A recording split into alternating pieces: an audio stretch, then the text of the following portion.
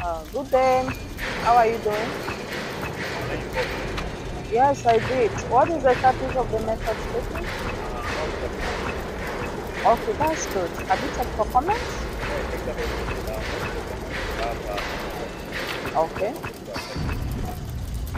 Okay, good then. We can proceed with the inspection request since the method statement has been approved. Okay, make sure you respond to all comments, okay? And you will submit,